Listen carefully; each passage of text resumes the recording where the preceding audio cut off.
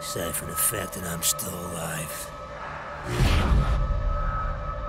None of this surprises me.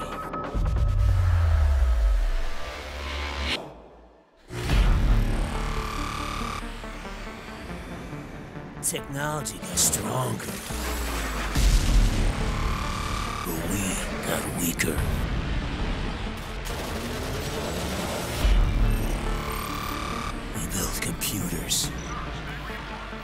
Robots. Whole unmanned armies. And no one ever asked. What happens when the enemy steals the keys?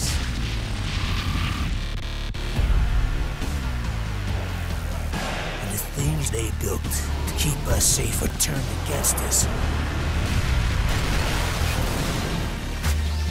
That's when they figured it out. They'll always need men like us. Those who are willing to do what others cannot.